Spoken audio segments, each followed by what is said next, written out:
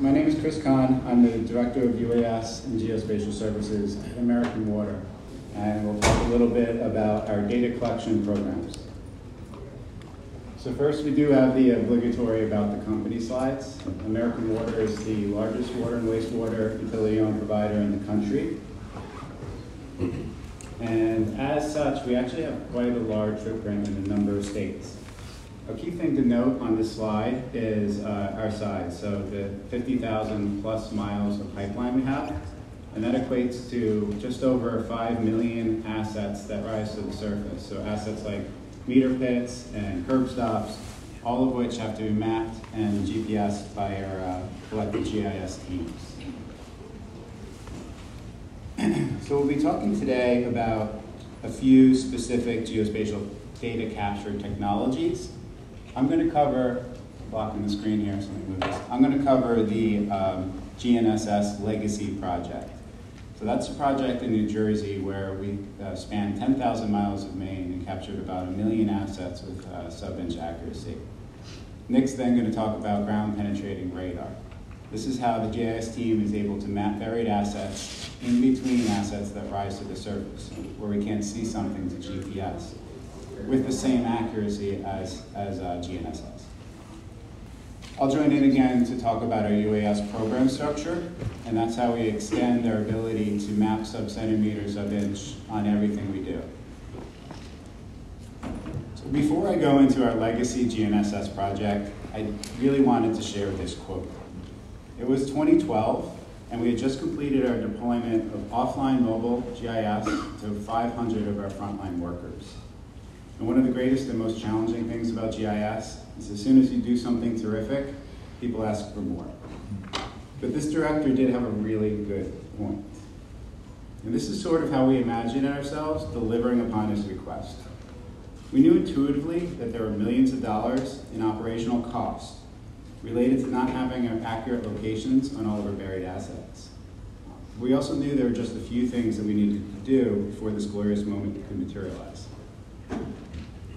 We had a vague idea that at a minimum, we would need to expand our department headcount pretty dramatically and purchase at least hundreds of thousands of dollars in equipment. And even with those things, we thought it was probably more than a 10-year project. We had zero budget. Uh, in fact, up to that point, the only business case we had done was, that, was to purchase a $7,000 plot. Successful, I might add. Undeterred, we developed a business case um, of course, started with the cost summaries. So th these are the costs of doing the project if we were to do it. And the key thing to notice here is our desired field data collection pace. It's probably very hard to read, but it's a third of a mile an hour. And that might not seem like much, especially with a million assets, um, but it's actually pretty quick. This table allowed us to adjust the data collection and the GIS editing piece, the desired project length, uh, accounted for time off and all that stuff. And that was all based on our observations from testing and our desired outcomes. And next, of course, we had to go into the benefits. And this is just a small snippet of the tables we developed. We got really nerdy with this. Um, the benefits of the project are actually the costs too, right? The benefits are actually the cost of doing nothing. Um, these tables were actually very conservative. I wanted to be careful, so they were an underestimation, and they were all grounded in observable facts. So we did crew ride-alongs. We counted up how many work orders actually required a, a, a, visit to a physical asset. The projected benefits of doing the project were over $2.5 million a year in reduction in operational expense annually. Uh, so for those in the room who are in utilities, which I assume is most of you, uh, you know that OPEX expense is unrecoverable cost, and anything to reduce OPEX, uh, we love. So two and a half million dollars a year because our field staff collectively were spending over 55,000 hours a year just looking for stuff. Finally, we had to figure out how quickly were we to do the data collection that our GIS staff could manage all of that incoming G GPS data uh, and update our actual distribution map to reflect the changes. We created uh, similar projections for the fieldwork. So hardware. Um, again, we had over a million assets spread across 10,000 linear miles of pipe, and the hardware we had available to us at the time were these. So to scale, we knew we were going to need a paradigm shift. And after a few months of searching and a whole lot of tinkering, we managed to somewhat hack Esri's water utility mobile map for Windows. Now this was before ArcGIS Online, and it would actually be years before ArcGIS Collector could even consume RTK data. So we configured this Windows mobile map to update our default SDE version with real-time RTK data.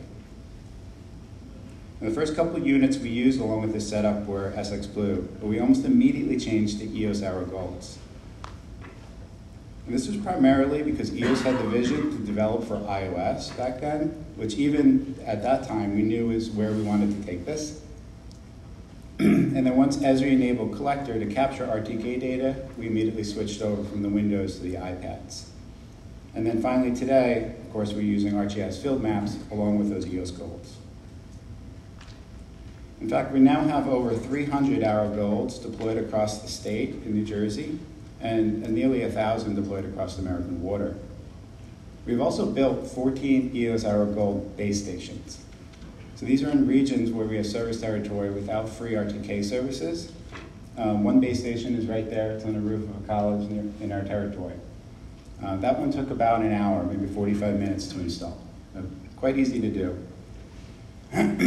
uh, these base stations also provide corrections for all four constellations. For those of you that do RTK, you know that a lot of the RTK services that are free only do GLONASS and GPS. Ours includes by, uh, Beidou and Galileo as well. Excuse me. We also use the EOS uh, ArcGIS field maps and uh, LaserTech TruPulse laser integration. So that's a GUI integration within our ArcGIS field maps. Um, we use that for busy intersections. So we have a little uh, screenshot. You can see the valves circled in the intersection. In order to do that intersection, we would need a lane closure and or police assistance, which of course we have to pay for. Implementing this workflow alone saved about $1,000 an hour. And capturing those three valves instead of a couple hours in traffic control takes one person about one minute. The speed that we were actually collecting data at was remarkable. It was not unusual for a single GPS uh, technician to clock over a thousand points in a day. In fact, we were collecting GNSS data so fast, it was 98% less expensive and 98 and something changed faster than our engineering contractors were providing as-built GPS data for us. So we immediately fired them. Early on, we relied very heavily on Excel, which you saw before for reporting. Um, but in 2014, we were an early adopter of dashboards, and this is our first dashboard that we started using to track this legacy project. And then over the years, we continually updated tracking and dashboards as it evolved as a product, and eventually allowed us to capture all of the detail that we needed right in the dashboard. I do want to pause to point out that 30,000 number under the cannot locates. This is interesting. These are assets that a GPS techs could not find on the first pass. It was really helpful to quantify because these all became work orders to find them and dig them up, often by trenching. And this was a somewhat silent OPEX expense for us. They were spread out across the state. Um, they caused headaches, but only randomly. And then this project was able to quantify, find them, quantify how much they were uh, costing us, and then fix them. And that quantification ended up being an extra 1.5 million in reduction in OPEX for the project. So we actually had a clear, uh, a really good laser guided shovel that the director wanted really early on in the project in 2014. And before I hand it off to Nick, I really couldn't resist showing an overly dramatic and very dated video that I put together in 2014 that I do remember being quite proud of at the time.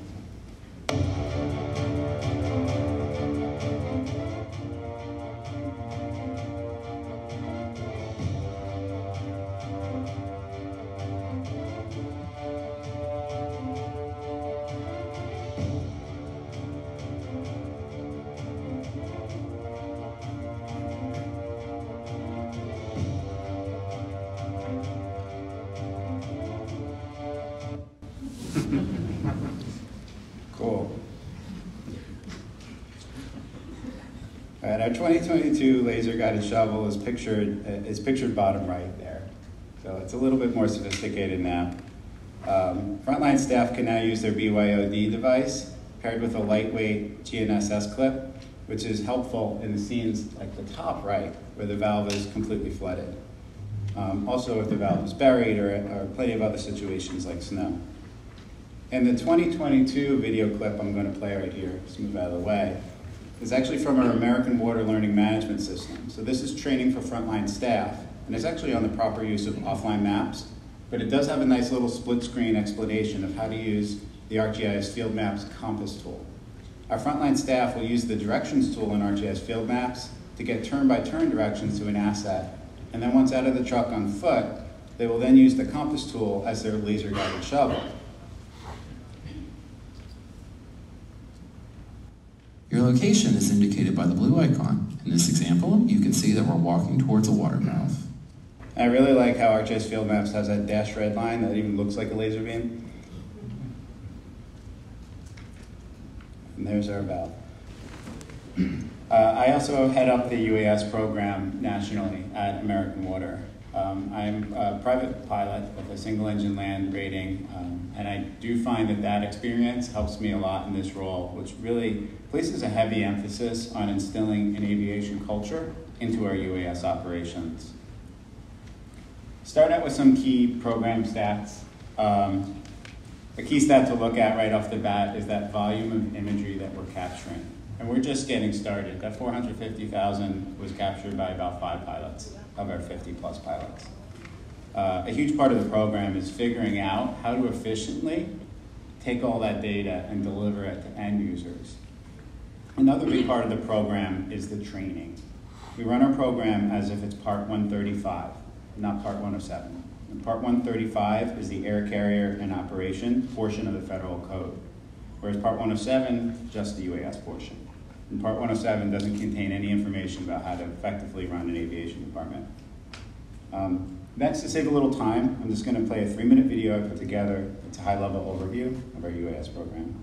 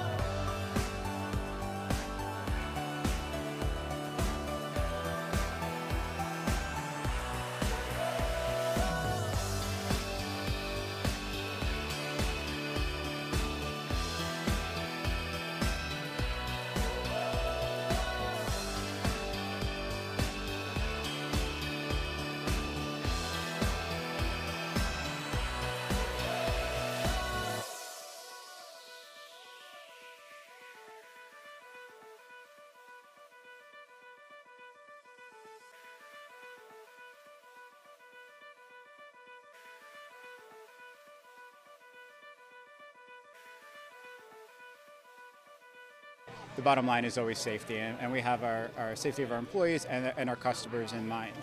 Um, we're not uh, doing this to be the on the leading edge of the technology just for the technology's sake. It really does pay kind of immediate dividends, and we've known that for quite some time. So it's scaling now. We've been doing a lot of work over the past several years to ready the company to move more quickly. But to move more quickly, you have to have established policies and procedures.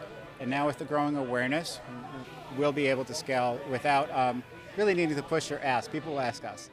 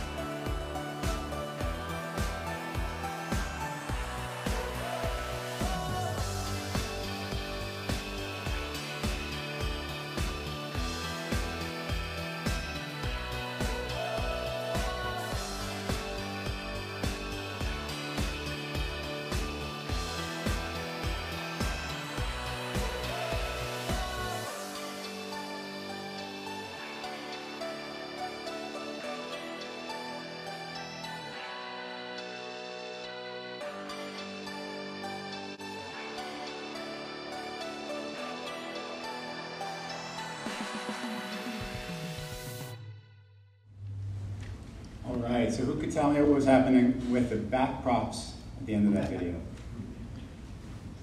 Anyway, I thought we'd have one pilot in the audience. Steering. Stall prevention. So it's automatic stall prevention on the drone. That pilot uh, banked up too high and was going to crash it. Uh, safety first. All right, so I hope the video was helpful in providing a high-level uh, overview of the program. Um, most of our drone operations occur in these middle four icons here, so these will all be visual line of sight, visual line of sight ops with a high number of flights. And because so many of these are near obstacles, uh, our flight standards and our flight training are actually pretty important. Down at the bottom, BVLOS, real-time emergency uh, uh, data streams, those are our more complex ops. Uh, so these have a much longer and much larger return on investment.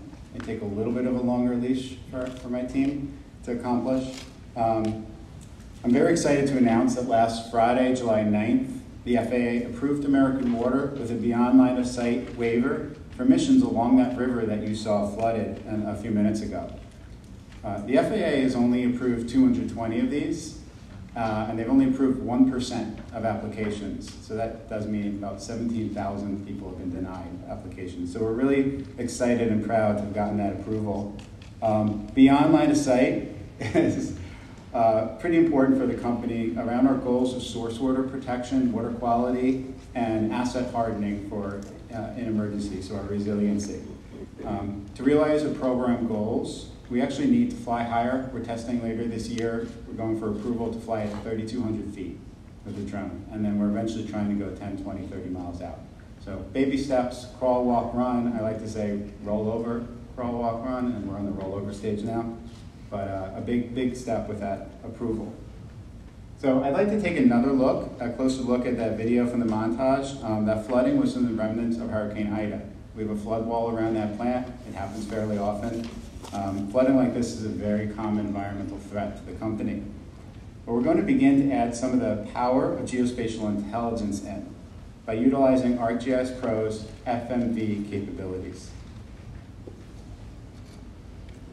So full motion video in the ArcGIS Image Analyst extension provides capabilities for playing as well as analysis of video data that is FMV compliant from drones. So this geospatial ena geospatially enables our video data, providing end users who might not be like very spatially aware, so C-suite, uh, leadership, to begin to understand where the video feed is in relationship to a map and see that side by side. But it doesn't stop there.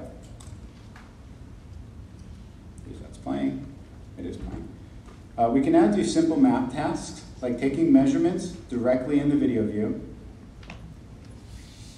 and of course, we can display our enterprise GIS data right in the video view. We can take a video still from the drone and instantly display that geospatially within our map.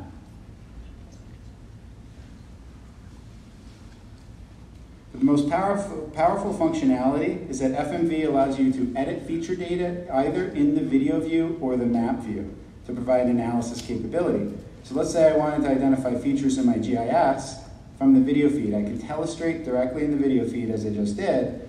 And then since this is now GIS data, I'm then going to use that to select my hydrants and valves that intersect with that shape that I just created.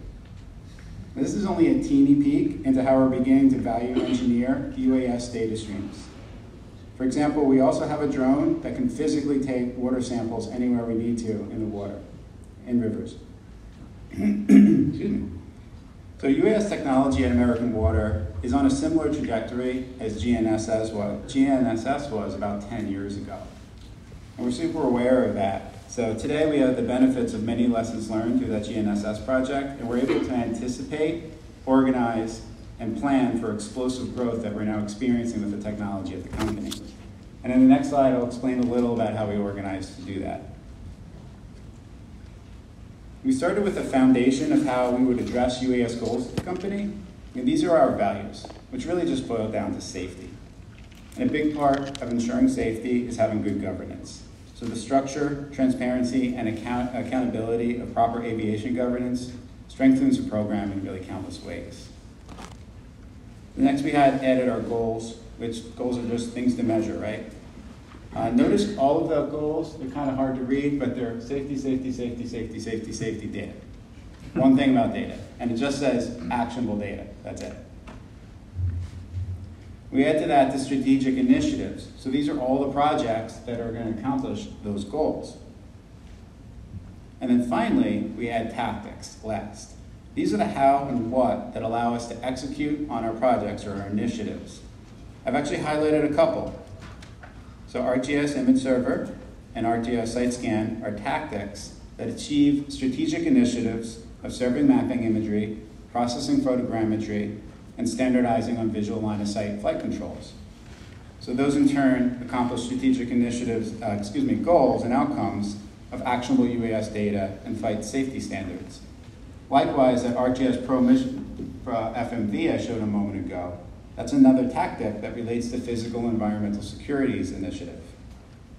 So if you're thinking about starting a UAS program, or if you already have, the advice I'll give you is to try to, try to not let the dog, uh, the tail wag the dog. Right? So start with your values, goals, and strategies, and then use those to inform your decisions on tactics.